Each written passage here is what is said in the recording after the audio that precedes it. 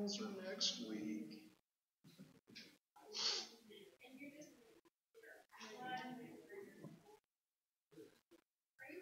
I did not grade your finals on a curve. I mean, I will grade your finals.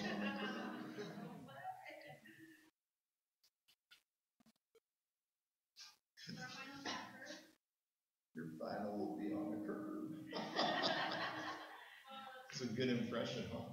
Almost sounds like Bill Clinton. Yeah. It's hard though.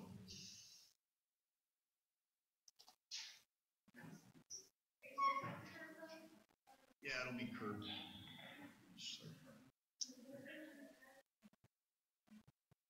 Well, good afternoon, class. We're going to talk about the Clinton 90s. A special meaning for me because it was the 90s.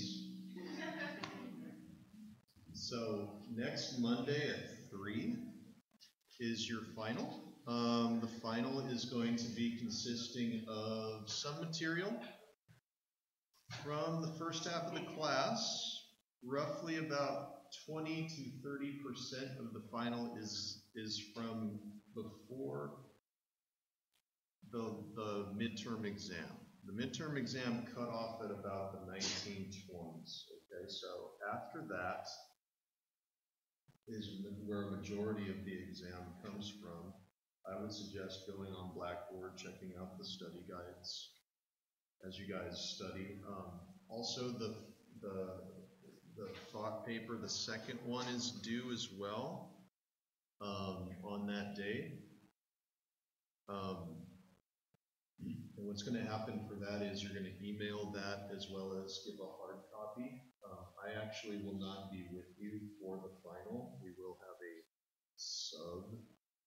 Okay, but she's basically going to give out the final and collect the papers from you and put everything in my box. Um, grades have to be in by next the next Tuesday, so I try to get them done as soon as possible without doing a good job. I mean, obviously, so probably by the end of the week, Friday or Saturday, you should see something on Blackboard. Okay. So, Bill Clinton. I think we ended up talking about him and just a few things here. so, yes, Bill Clinton, there he is. Um, wife Hillary is in the news lately. She is going to be obviously a presidential contender. Turn down the mic here. And um, I think without any roadblocks, she'll probably be the nominee. But uh, the story of the Clintons starts way back in the 60s. Uh, Bill Clinton is living proof that you can be from absolutely nothing and have no prospects in your life to becoming president of the United States. I mean, the man grew up in a trailer park, okay, with no father, him and his brother, and his mom, all right? Early on in his life, uh, he did have the occasion to, through like a, a school trip basically to meet President John F. Kennedy. And not like meet him, talk him, hang out with him kind of thing, but more like just shaking hands. What's a presidents do? And after that, his life was changed. He went to England to become a, a Rhodes Scholar, which is basically like one of the highest scholarships you can get. He met his future wife, Hillary Rodham, who is right here. And of course, they fell in love and got married and stuff. And shortly after that, he became governor of Arkansas. Now, one thing that's interesting about Bill Clinton, besides all the extracurricular activities, which everyone is always interested in for some reason, um, he represents a new way of being a Democrat.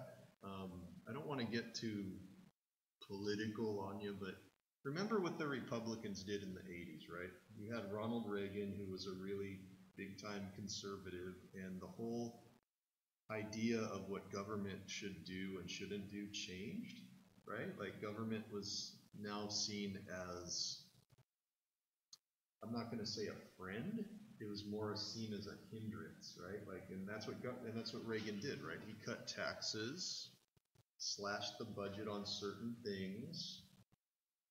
And the Democratic Party was really, how would you say, non-existent in the 1980s in the elections, right?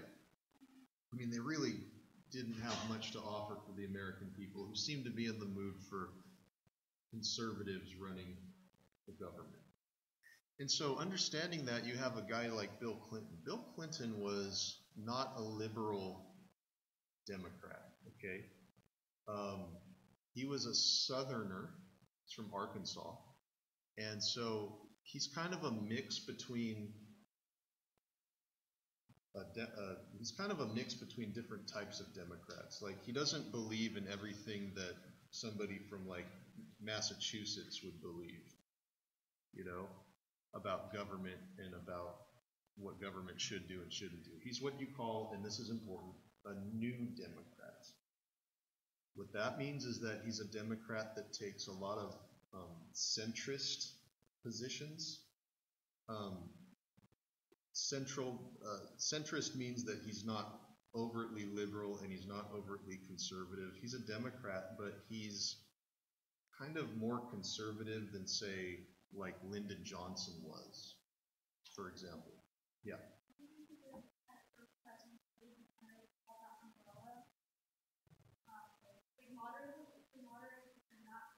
He's a moderate, yeah. That's another good word for it. Centrist, moderate, somebody that's in the middle. Yeah. Well, he believes in a lot of stuff that Democrats always believe in, right? Like helping out the poor, helping out the disenfranchised, like using government to do that. But at the same time, a lot of his belief system appeals to those, remember those family values voters out there in the 80s who are they really like Ronald Reagan because he's an evangelical Christian, and so is Bill Clinton. So he kind of appeals to those folks as well. And so he's just a really strong presidential candidate. And not only that, he's a young guy. So you see him playing saxophone. There was a show back in the day when I was a kid growing up called the Arsenio Hall Show. I don't know if you know who he was. You can't see Arsenio, he's like over here. Anyways, he would play saxophone. People thought he was cool. He had a young family. There's Chelsea. By the way, she's married and now she has a child now. So Hillary's grandma. Anyways. And this is Bill Clinton on the very first choose or lose presidential debate on MTV. It's the first president to go on MTV, and of course, very famously, people asked him, Did you try marijuana? And he goes, well, I experimented with it, but I didn't inhale. People thought he was cool. Because, yeah, pretty funny stuff. So, in the election of 1992, you have a three way race. You've got Bill Clinton, a Texas billionaire that's an independent candidate named Ross Perot, who you see right here and this is the outgoing president George H. Bush. Now, what from last time, what really did George H. Bush in was the economy. You might remember George H. Bush got us involved in a war that we promptly won, right, to defeat Saddam Hussein in Iraq. Yay! But once the war was over, the economy was doing so poorly that President Bush could not shake the um, the stigma that he just wasn't doing enough to help out the American people. And so along comes Clinton. And I think, too, what's interesting is that if you look at this election, you've got Perot here who takes away a lot of votes 19 almost 20 million votes away from bush if bush would probably have gotten those 20 million votes we would be having a very different history discussion right now. But Bill Clinton was able to win in part because Ross Perot came along, and he was a guy who basically didn't really fit into any category, but I think some from time to time you have third party candidates in America who speak to things that the two parties just won't talk about.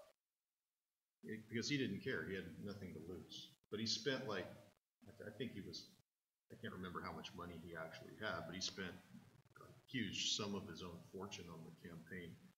But he actually ran again in ninety-six, but anyways, here we are with Bill Clinton, and this is a presidential debate, which is a pretty cool debate for the first time that I can remember, you actually had three people debating. And Bill Clinton was able to win because of, I think, his youth, the fact that he had better ideas probably than Bush did for fixing the economy.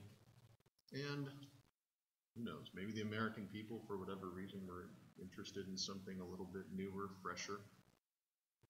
And so what I'd like to do to start off class is just um, give you a broad overview of Clinton in the 90s. Um, this is a very short, I think it's a seven or eight minute clip about Bill Clinton and his presidency. And afterwards, we'll go in depth on him a little bit. Um, this is this is this is fun because this is actually the first president I actually voted for. He's still around, by the way. Still around. He- And he should be. And what's he going to be called when Hillary becomes president? The first man lady. The first dude. Here we go.